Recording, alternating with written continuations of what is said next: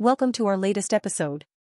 Today, we're thrilled to share the exciting news of Usher and Jennifer Goicoechea's recent nuptials in Las Vegas during Super Bowl weekend. Let's dive into the details.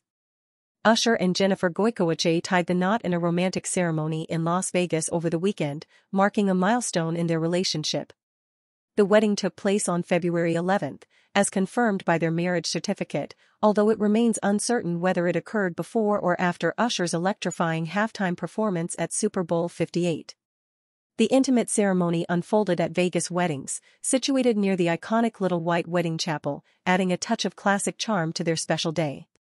Usher's mother, Jonnetta Patton, stood witness to their union, while Reverend Ronald Joseph Pakrika officiated the ceremony, overseeing the exchange of vows and rings the couple's arrival at Usher's Super Bowl after party, where they made a stylish entrance in coordinating white ensembles, hinting at their newlywed status.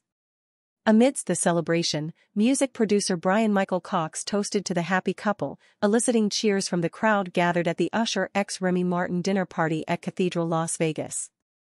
Addressing the room with heartfelt gratitude, Usher expressed his joy and excitement for the future, declaring the night to be just the beginning of their journey together.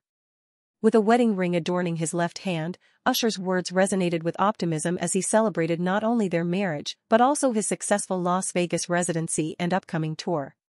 Usher and Jennifer's love story began in 2019, blossoming into a beautiful partnership that welcomed the arrival of their daughter, Sovereign, in September 2020. Their journey to marriage is a testament to their enduring bond and commitment to each other. Thank you for joining us today. If you enjoyed this video, don't forget to like, share, and subscribe to our channel for more updates. We look forward to sharing more exciting news with you in the future. Have a wonderful day.